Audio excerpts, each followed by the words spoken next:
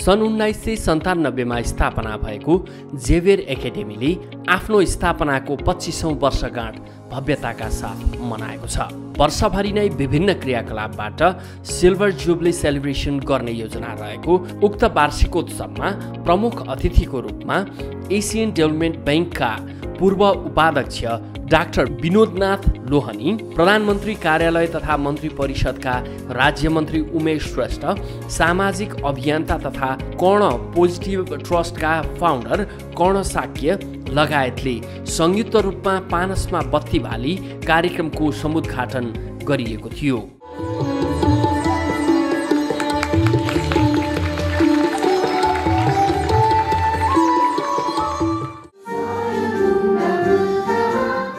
राष्ट्रिय गान Xavier anthem र स्वागत नृत्यसँगै अगाडि बढेको कार्यक्रमलाई स्वागत मन्तव्य व्यक्त गर्दै जेभियर एकाडेमीकी प्रिन्सिपल रश्मि शर्मा मैनालीले उपस्थित सम्पूर्ण अतिथि जेभियर फेमिली र पत्रकार समक्ष स्वागत मन्तव्य व्यक्त गर्नुभएको थियो As you all may know, Xavier Academy had a humble beginning in 1997. A group of academicians decided that Education must be given a new meaning, a system that not just aligns with the prescribed curriculum, but also adopts and adapts new methods. While XA has changed much in the past 25 years, the goal has remained the same, quality education and personality development. As John Dewey has stated, rightly stated, education is a social process. Education is growth, Education is not a preparation for life, education is life itself. We at Xavier Academy not just focus on helping students earn a quick score, a full score, but we are more concerned about building character and broadening horizons.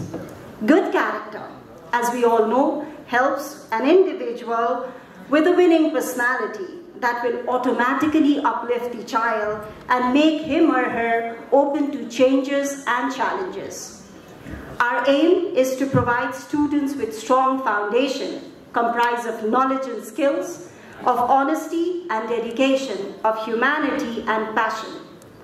These are all primary tools for success. Success that can be measured not just in terms of monetary returns, but success that's going to keep us contented and happy, that will build the nation a better and prosperous nation. This is made possible as we depend on a team of highly qualified, passionate teachers and great administrators. कार्यक्रमलाई भव्य सभ्य र मर्यादित तवरबाट सफल बनाउन उपस्थित सम्पूर्ण अतिथिहरूमा Xavier एकाडेमीका chairperson professor doctor Shriram Bhagat माथेली सम्बोधन गर्नुभएको थियो but most importantly the people who made this programme possible the teachers the admin staff the performers the volunteers, and the entire family. It is a pleasure and honor to welcome you all to this very momentous occasion to celebrate our silver jubilee. Yesterday, we completed 25 years of dedication and commitment to academic excellence and total personality development. Today, we embarked on the 26th year of operations.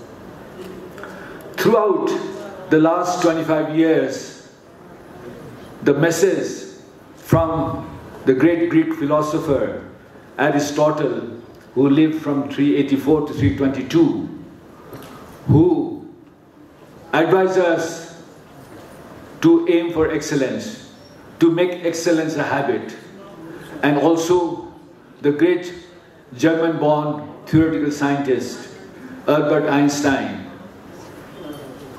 who basically advised us not to be a man of value, but to be a man of character. These two intelligent giants, giants have motivated us, guided us towards achieving excellence in all our endeavors, ensuring that the college, the school, is always trying for excellence and also ensuring the development of the student, students totally in terms of personality as well as for individual advancement. पच्चिसौँ वार्षिक उत्सव तथा silver jubilee सेलिब्रेसनको उपलक्ष्यमा जेभेर एकाडेमीको स्मारिका अनावरण गरिएको थियो शैक्षिक क्षेत्रको इतिहासमा पच्चिस वर्ष कोर्न सफल र उत्कृष्ट शैक्षिक पूर्वाधारका बीच गुणस्तरीय शिक्षा प्रदान गरी पच्चिस वर्ष मनाउन सफल जेभेर एकाडेमी र यसका परिवारहरूलाई सामाजिक अभियन्ता कर्ण साक्यले धन्यवाद दिँदै उत्प्रेरणात्मक सम्बोधन गर्नुभएको थियो। कार्यक्रममा यहाँका विद्यार्थीहरूको मुहार हेरेर उहाँका विद्यार्थीहरूको प्रस्तुतिकरण हेरेर भर्खर अघि एउटा बहिनीले भन्दै थियो कि यहाँको जुन चाहिँ एजिडी chairman is one of the most perfectionist साँच्चै मैले पनि उहाँलाई चिनेको छ एकदम पर्फेक्सनिस्ट हो। यो कार्यक्रमबाट म के निष्कर्षमा पुग्न सक्छु भने यो कलेज नेपालको मात्र होइन विश्वको कुनै पनि संस्थाभन्दा कम छैन। एउटा कुरा म तपाईँहरूलाई भन्न चाहन्छु। म विगतका झन्डै पन्ध्र सोह्र वर्षदेखि हेर्न सकारात्मक सोचको अभियानमा लागिरहेको हुँदा म तपाईँहरूलाई के भन्न चाहन्छु भने हामी सत्तरी लाख जनता जम्मै विदेशमा पुगिसकेको छ। त्यो नियरली अब thirty percent of total population of our country are living and working enter different part of the world which is very sad यहाँ सबै प्यारेन्ट्सहरू हुनुहुन्छ। म उहाँहरू सबैलाई म अनुरोध गर्न चाहन्छु। तपाईँहरूको छोराछोरीलाई नोकर बनाउने हो भने विदेशमा पठाउनुहोस् मालिक बनाउने हो भने यही देशमा मालिक आमाको काखमा साथीको साथमा र संस्कार र संस्कृतिको आधारमा मात्र गर्नुहोस् चाहे उहाँहरू विदेशमा गएर गरेर गर्नुहोस् प्रिन्सन गरेर गर्नुहोस् उहाँहरू जाहिर खाने मात्रै हो। तर यो देशमा युवाहरू एक वर्ष पहिले म सिकागो भन्ने एउटा ठाउँमा गएको थिएँ अमेरिकाको। त्यहाँ मलाई त्यहाँ नेपाली डान्सपराले मलाई यसै कार्यक्रममा मलाई बोल्ने मौका दिनुभयो। र मैले त्यहाँ थाहा पाएँ त्यो ठाउँमा जाँदै तिन सय सत्ताइसजना डक्टरहरू काम गरिरहेछ तिन सय सत्ताइसजना डक्टरहरू सिकागोमा। सिकागो भन्ने सहर चार काठमाडौँबाट आधा पनि छैन। मलाई लाग्यो माइ घर यतिका मान्छे एकजना डाक्टर बनाउने त हामी दसौँ करोड खर्च गर्नुपर्छ। आज हामी सबै सत्तरी लाख जनता जो बाहिर गएको छ सबै पढे लेखेका मान्छे छ। यो देशमा मलाई के गजब लाग्यो भने नेपाली गरिब भएको छैन।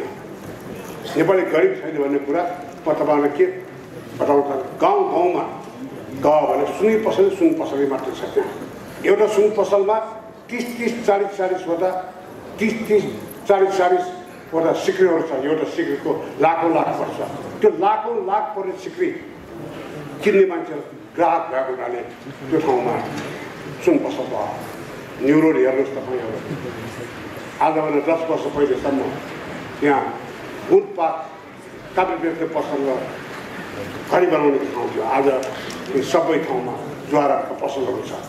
ती सब पसलहरूमा करोडौँको लाखौँको किन सक्ने मान्छे भएको हुनाले त्यो ज्वारा पसल त्यहाँ खोल्यो त्यसैले म के भन्न खोजिरहेको छु भने नेपाली धनी भएको छ र नेपाली शिक्षित पनि भएको छ दुई हजार तेह्र सालमा म एसएलसी दिने बेलामा जब तिन सय पचासजना मान्छे मात्रै थियो स्कुलमा दिने दान आज दसौँ लाख छ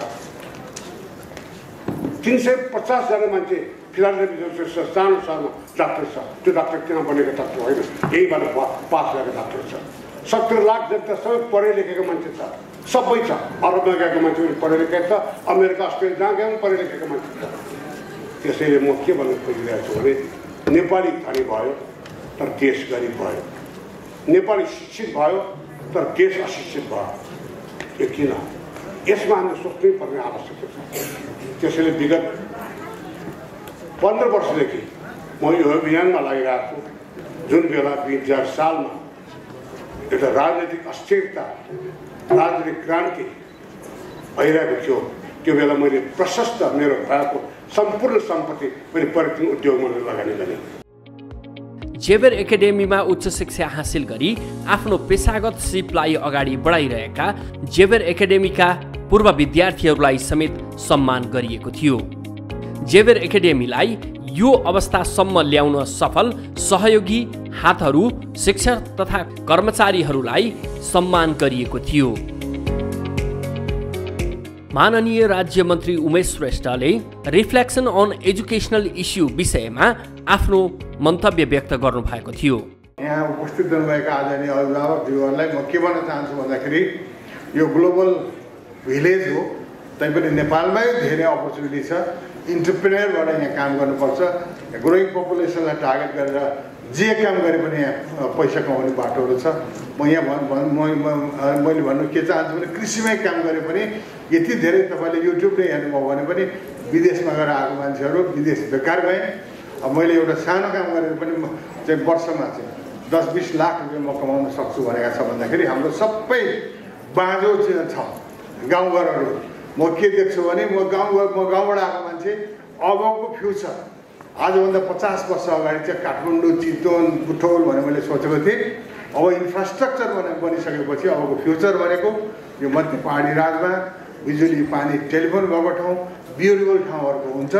त्यसलाई पनि हामीले मनन गरेर त्यो ठाउँको पनि विकास गर्नु जरुरी मैले ठानेको छु। त्यही भएर यहाँ जुन हामीलाई ट्रस्ट गर्नुभयो छोराछोरी पढाउनु भयो पैसा तिर्नुभयो र जेवियरलाई सपोर्ट गर्नुभएको छ तपाईँहरू नै हाम्रो एम्बेसडर गुड पोइन्ट र ब्याड पोइन्ट भनेको तपाईँहरूले जे भन्नुहुन्छ त्यसलाई हामीले मनन गर्नुपर्छ।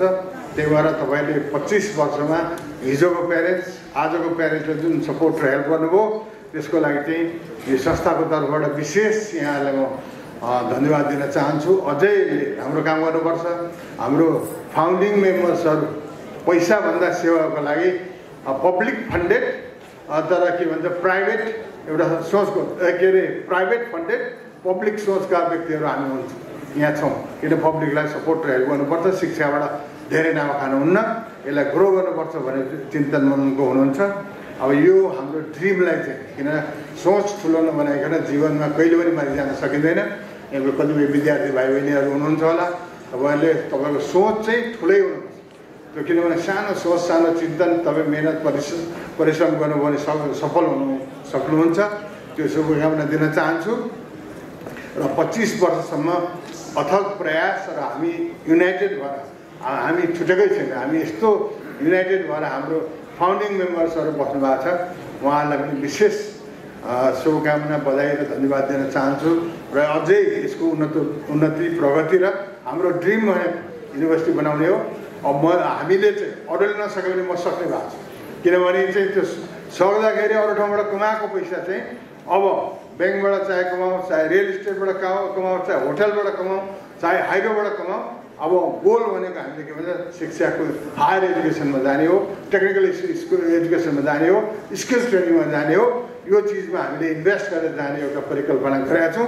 अब साथमा साथ राखेर भोलिको दिनमा जानुपर्छ जस्तो लाग्छ।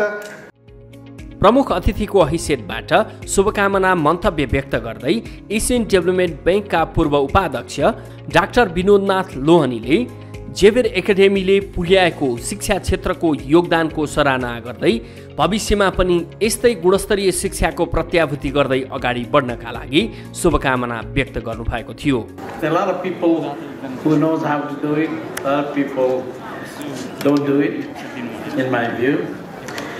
Someone who is very passionate, just like Carnegie, that we should develop this country, and it's possible. Thank you. I'd like to say only three words, I could say many. Uh, respected Colonel Sakiju, if I had to choose one word, very difficult, so I would say he's really an icon. Whatever he does, he's become an icon. Today, he's an icon on positive thinking, at one time he was an icon on tourism, one icon on conservation, and on and on and on. Uh, Professor Dr. Sirna Mate, one word for him would be a global professor, respected everywhere in the world. including he's a consultant to the organization I used to work, Asian Development Bank. Now we used to think ADB had a lot of smart people, so he's also consulting us. So that tells you how good he is.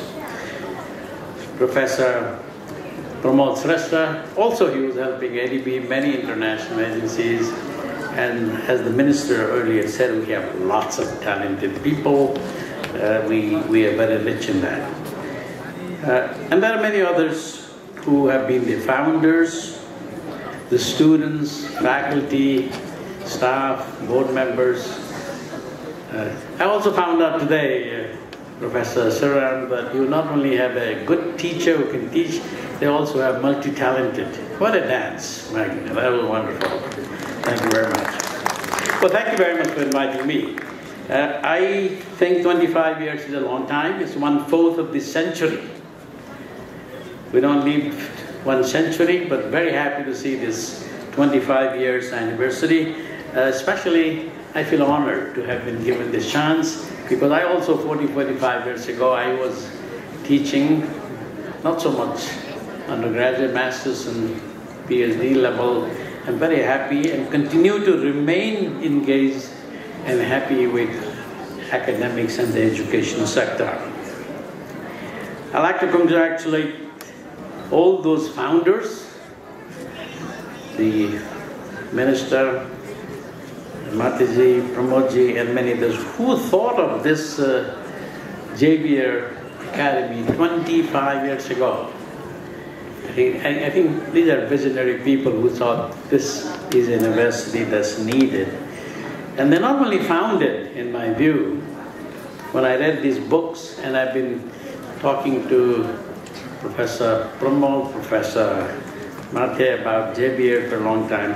I think you not only founded the university, but you continue to provide quality education, and it made a difference in the lives of many people, many young people, and made an impact on the society. Uh, I think, been already said, Xavier to me is one of the best. You don't have to be number one, but you could be number one in many ways. And I think it has not only the potential, it is already, in my opinion, a very top institutions. But as Professor Mate said, we need to keep it there and we need to go higher. And this is the new challenge. कार्यक्रमलाई भव्य सभ्य र मर्यादित बनाइदिएकोमा Xavier एकाडेमीकी student council representative Nisma मल्होत्राले धन्यवाद व्यक्त गर्नुभएको थियो We are honored to be in their presence and indebted to their contributions to our society. All the endless practices and the unveiling of talents of students were worth it in the end, showcasing their potentials to the fullest and managing both the preparations of academics and extracurriculars, I take this time to appreciate each and everyone without whom our 25th anniversary would be incomplete. My heartfelt thanks goes out to our chief guests, our board of directors, respected principal ma'am, vice principal, Mr. Prakash Shrestha, and all the Xavier Academy faculty members. We owe a huge thanks to our coordinators of Science and Management faculty, Mr. Krishna Sundar Oval sir and Mr. Puskar Shrestha sir. I thank the teachers for their constant support and mentorship, helping us in every step of the way. The Student Council, who have worked endless hours to make this program a huge success. The past two years of COVID-19 pandemic have indeed been a roller coaster ride, but here we are, more grateful than ever to be able to embark on this journey marking our institution's 25th anniversary, a silver jubilee. On behalf of the entire student body, I would extend gratitude to each and everyone present here, and especially our institution for shaping our lives. To be part of the lucky batch, to be able to celebrate such a huge accomplishment of this institution, I feel truly blessed. To the parents who took their time from their busy schedule and the talented alumni who came from all across the globe to be a part of this accomplishment of their alma mater, we are immensely grateful. Looking forward for bigger achievements and remembering the powerful legacy left behind. Wishing all good luck, sound health, unending success, and all the best in future endeavors. I, Nishma Malhotra, a proud Xaverian, signing off. Thank you. कार्यक्रममा विद्यार्थीहरूले विभिन्न गीत नृत्य प्रस्तुत गरेका थिए